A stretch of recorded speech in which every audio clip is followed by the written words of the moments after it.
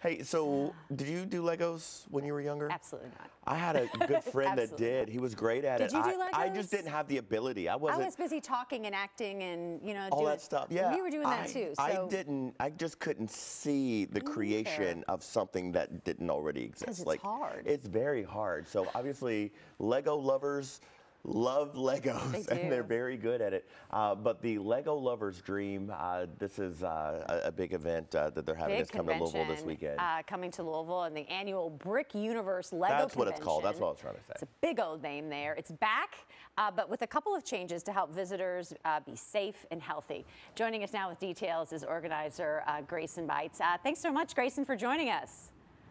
Thank you for having me. Excited to be on.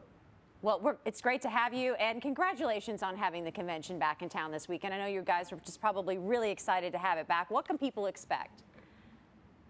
Well, it's been two years since we've been back to Louisville, and we've been bu- busy building. All the Lego artists have been busy building new creations. So many new things to see this year. We're excited to be back. Yeah, I'm looking at what's behind you, and they look like well knitted quilt. Like it, Yes. it looks amazing. It's hard to process that those are Legos. It, people are so creative. Uh, so you mentioned you're back after two years, and you're very excited about that. Obviously, what changes have you all made to to make sure people are safe and healthy as we continue this uh, COVID-19 battle?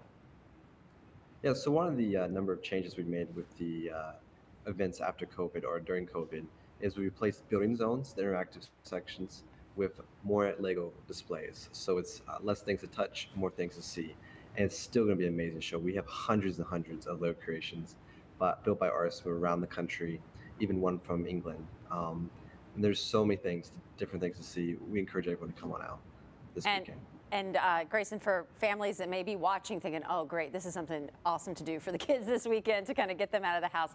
I mean, can you still get tickets and can you purchase Legos there? If you see stuff that you like, are you able to, to purchase it and leave? Yes and yes. So you can still purchase tickets. You know, due to uh, COVID, there's going to be uh, limited crowds. So we do expect to sell out.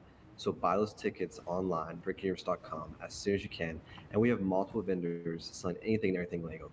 Any Lego minifigure you can think of, our Lego set, new Lego, retired Lego, it's all going to be here this weekend.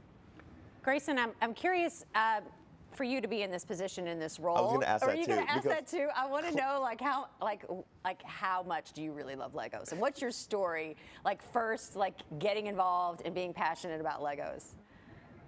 Oh, I am obsessed with Lego. You know, I, ha- I got my first Lego kit maybe when I was three years old, and I actually just never stopped building. Um, I love everything about it castles, spaceships, skyscrapers. And what's cool about this event is it's all there. You know, we have art like what we have behind me, Star Wars, uh, anything and everything Lego. It's, it's it is a Lego lover's paradise. Do you notice? Uh, I don't know how many years you've been at this in your specific role, but it sounds like you've got a, a longevity with Legos themselves. Do you find that people who have that level of creativity young use that moving forward in their professions? And I say that because one of my closest friends, who was, was big into Legos, is now a, uh, an engineer. Oh wow. Yes, exactly. So it's all fun, and we love Lego for the fun of it. But it's also very important, we think, for kids to build Lego at a young age because we have so many engineers and architects who come to our event and tell us this Lego's why they do what they do now. So Lego is so important for uh, creativity and learning, and our event shows a bit of that.